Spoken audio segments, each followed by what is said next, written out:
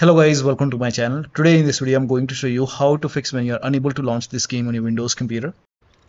Now the first step is to simply restart your computer. Just restart your computer once. Do not ignore this step. Just restart your computer once and then check. Still not working. The next step is to run the game as an administrator from the game installation folder. So go to Steam, make a right click on the game and then select browse local files. It will take you to the game installation folder. Now open the game folder and then once you open the game folder over here you can see start protected game make a right click on start protected game and then go to properties go to this tab and then put a check on the box over here and then select windows 8 from the list hit apply click on ok make a double click launch the game from here.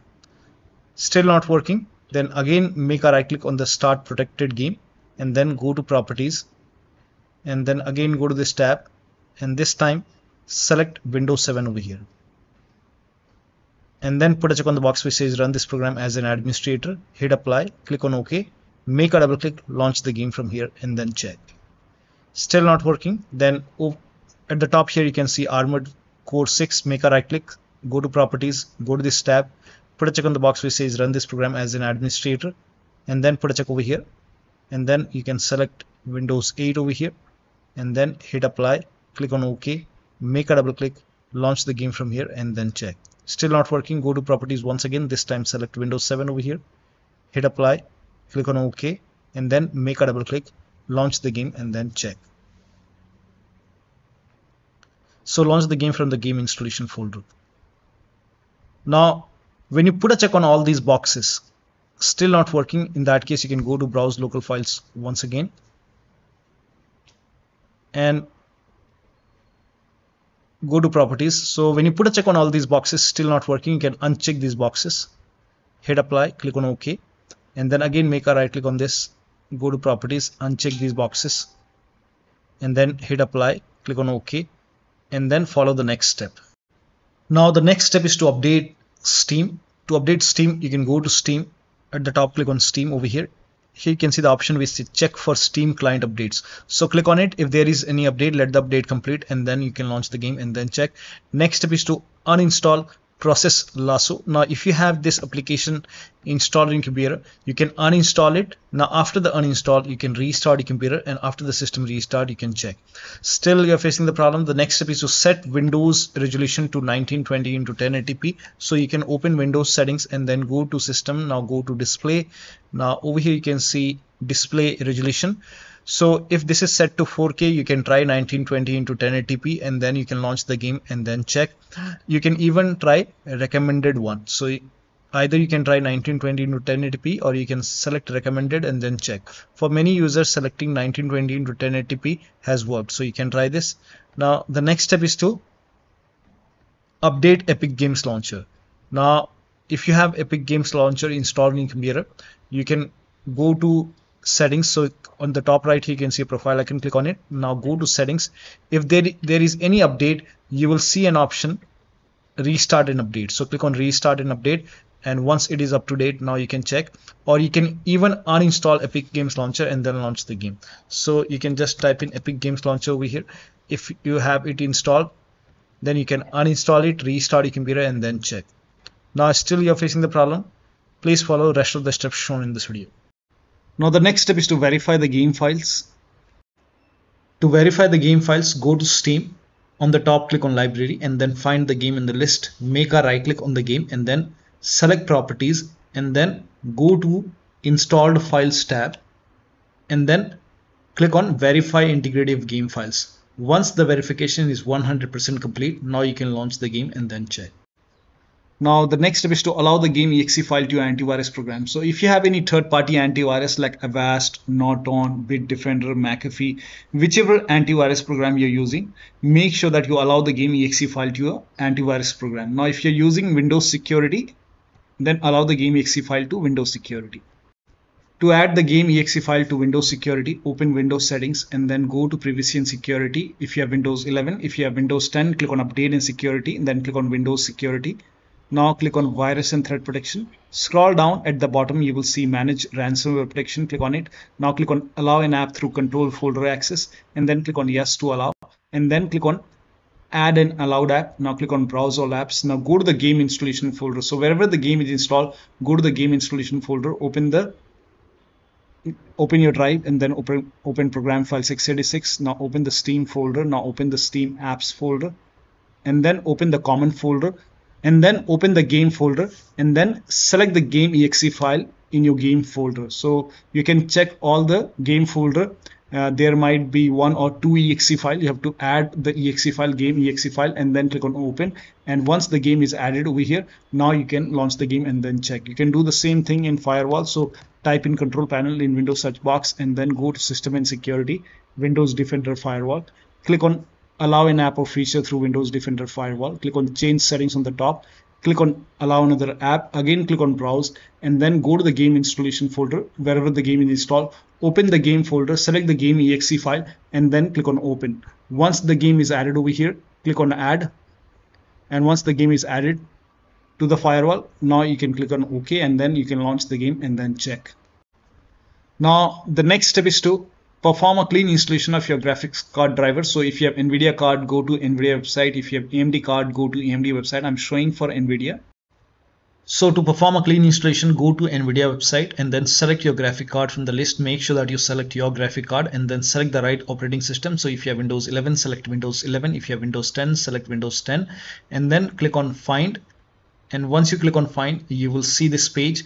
Now here you will find the latest GeForce Game Ready driver.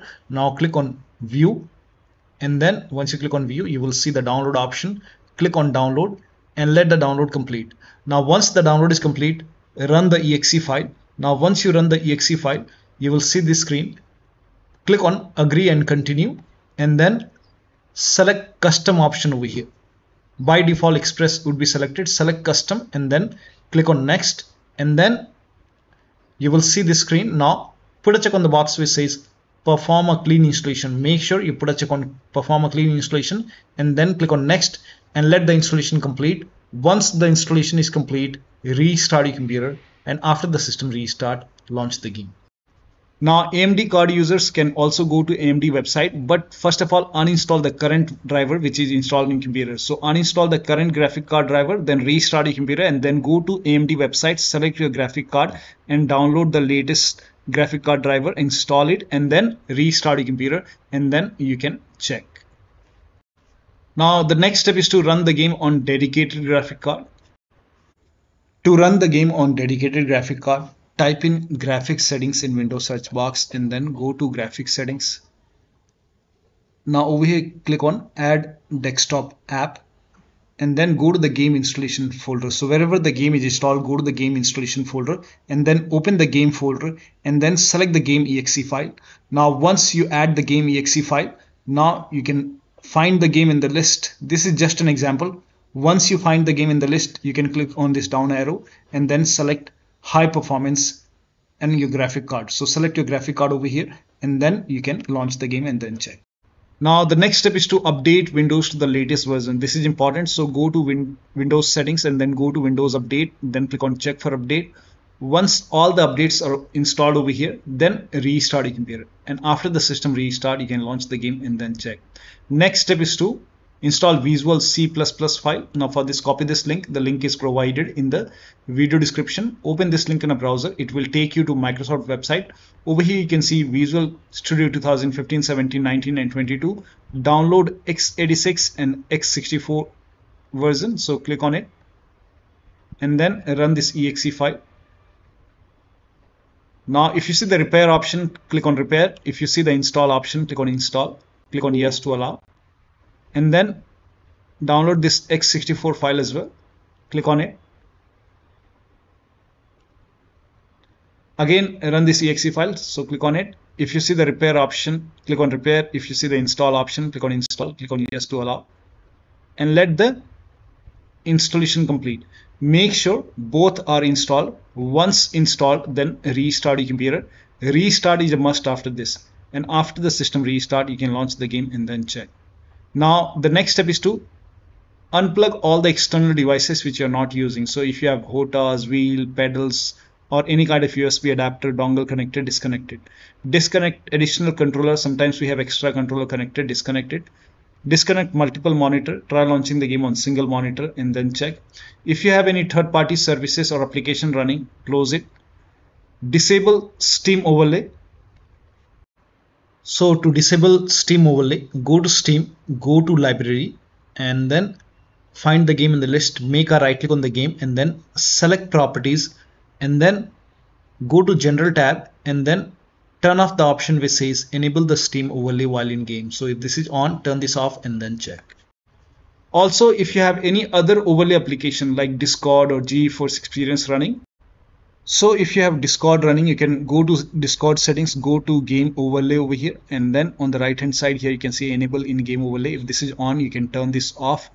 And if you're using GeForce experience on the top right click on the settings icon and then over here you can see in game overlay you can turn this off and then check.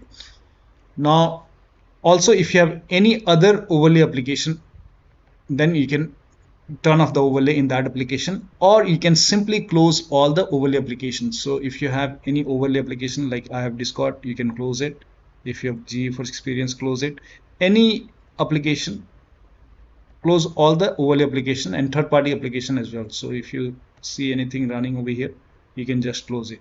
Also close all the overclocking application like if you have MSI afterburner running over here make a right click close it if you have if you have RivaTuner running you can close RivaTuner perform clean boot. Now for this type in system configuration in windows search box and then click on system configuration and go to the services tab and then put a check on the box which says hide all Microsoft services and then click on disable all make sure you put a check on hide all Microsoft services first and then click on disable all. In my case, this is grayed out. I already did it. In your case, this would be highlighted. So put a check over here, then click on disable all and then click on apply, click on OK. You will see a restart option, restart your computer and then launch the game. Also, if you have undervolted your computer, remove the undervolt and then launch the game. Next step is to increase the virtual memory. So to increase the virtual memory, type in view advanced system settings in Windows search box and then click on view advanced system settings and then click on the first settings and then go to advanced tab and then click on change over here and then select the drive. So uncheck the box which says automatically manage paging file size for all drives. Uncheck this box and select the drive where the game is installed. So select the drive and then once you select the right drive now put a check on custom size and for initial size it's 1.5 into total RAM. So you can check the total RAM in Windows settings. You can go to system and then go to about. And total RAM in my case is 16 gigabyte. So you can calculate accordingly. In my case it's 16 GB so I will calculate as per 16 GB so and first of all we have to convert 16 GB into megabyte. So we will open calculator. So type in calculator in run box and then click on ok. And over here uh, it's 16 1.5 into total RAM. Total RAM in my case it's 16 RAM 16 GB so 1 16 into 1024 1024 is actually 1 GB is equal to 1024 megabyte. So 16 GB in megabyte will be 16384 into 1.5 1.5 into total RAM. This is my total RAM in megabyte. Now 1.5 into total RAM total RAM that is into 1.5 so in my case initial size is 24576 24576 and maximum size is 3 into total RAM. Now total RAM in my case that is 16 gigabyte. I have 16 gigabyte of RAM. So 16 into 1024 I have converted this in megabyte. Megabyte now that is 3 into total RAM. So total RAM is this much into 3 that is 49152 49152 4915152 Now click on set over here. Then click on OK, OK, apply, OK, OK. Now restart computer. Make sure that you restart your computer after this. Now, the next step is to update the system BIOS. So go to your system manufacturer website. So if you have a Dell computer, go to Dell website. If you have Lenovo, go to Lenovo. So go to your system manufacturer website, select your model number, make sure that you select your computer and then find the latest BIOS update available in software and download page and download and install the BIOS. Now, in case of laptop, before you update the system BIOS, make sure battery on your computer is more than 10% and the AC adapter, the charger is connected to the computer. Then update the system BIOS. And during the BIOS update, your system will restart. Do not unplug the power cable when it's updating uh, the system BIOS. After the BIOS update, log into the computer and then launch the game. Now, the next step, you can skip this step if you're not able to launch the game. If you're able to launch the game, in that case, you can switch to window mode and lower down video settings like if the graphics preset is set to ultra or high you can set it to medium or low quality. You can even try to turn off the vsync turn on turn off or turn on the vsync and then check. So try to make changes in the graphic settings. So try to lower it down and then launch the game and then check. Now the last step is to uninstall and reinstall the game. So if nothing is working, you can go to Steam, make a right click on the game and then click on uninstall. Now after the uninstall, go to the game installation folder and delete the game folder and then restart your computer and then install the game to C drive. So if the game is installed to D drive or E drive or any external drive, try to install the game to D, uh, C drive and then check. If the game is already installed to C drive, in that case, you can try to install the game to another SSD and then check.